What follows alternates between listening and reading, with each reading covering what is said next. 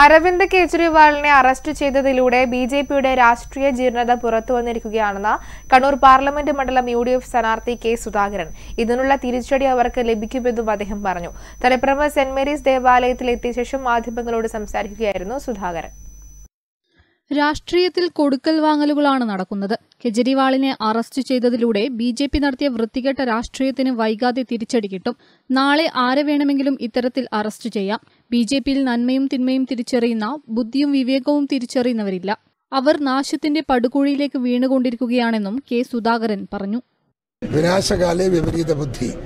രണ്ട് എന്നിട്ട് വെള്ളം കുടിക്കുന്നെന്ന്? ഉപ്പ് തിന്നവൻ വെള്ളം കുടിക്കും. ഉപ്പ് തിന്നവൻ വെള്ളം കുടിക്കും. ഇത് കൊടുക്കലാണ്. രാഷ്ട്രീയത്തിൽ കൊടുക്കലും വാങ്ങലുമാണ്. കൊടുത്തത് കിട്ടും. ഈ കൊടുത്തതിന് ഒരിക്കൽ തിരിച്ചവർക്ക് കിട്ടും ഒരിക്കലും. ഇന്ത്യയിൽ ഇതുവരെ ഇത്രയും വൃത്തികെട്ട ഒരു അറസ്റ്റും ഒരു രാഷ്ട്രീയ സംഭവവും ഇന്ത്യയിൽ ഉണ്ടായിട്ടില്ല. ഒരു മുഖ്യമന്ത്രി പേര് കേട്ടൊരു മുഖ്യമന്ത്രി എല്ലാറ്റിലും ഒരു യശസ്വിലാക്കിയ ഒരു മുഖ്യമന്ത്രി. ആ മുഖ്യമന്ത്രിയെ ഒരു കുറ്റവും ചെയ്യാതെ ഇതുപോലെ അദ്ദേഹത്തെ പീഡിപ്പിച്ച് അറസ്റ്റ് ചെയ്യുക എന്ന് പറയുന്നത് ഒരു മൃഗീയമാണ്. തനി മൃഗീയം. അതിനപ്പുറത്ത് ഭാഷയില്ല പറയാം. അടുത്ത പരിപാടി ഉണ്ടാവാം എന്താന്ന് കജരിവാളിനെതിരെ എടുക്കാമെങ്കിൽ പിന്നെ ആർക്കെതിരെ എടുത്തുകൂടാത്തത് എല്ലാവർക്കും എതിരെ എടുക്കാൻ പറ്റും.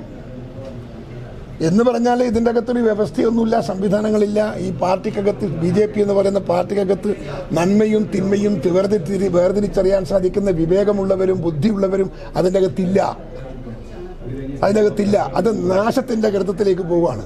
ഒരു തർക്കവും നിങ്ങൾക്ക് വേണ്ട. T. Janardhanan Muhammad Blathur Manoj Kuveri A. D. Saboos Mahmood Allamkulam Rajani Ramanand P. Saraswathi T. R. Mohandas എന്നിവരും കെ. സുധാകരനോടൊപ്പമുണ്ടായിരുന്നു. News bureau Taliparamba.